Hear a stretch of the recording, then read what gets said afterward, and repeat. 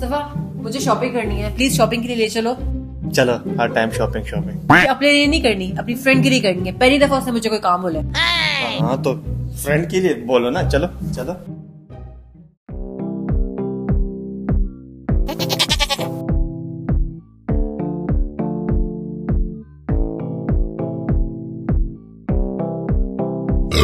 मुस्तफ़ा मुझे भी आटा लेना है ना। चलो आटा चुप करो आटा आटा आटा आटा।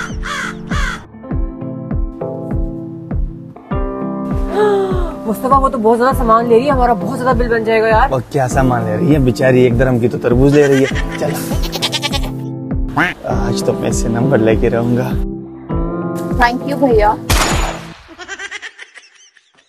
आपका हो गया? चले जाके आटा ले लें अब।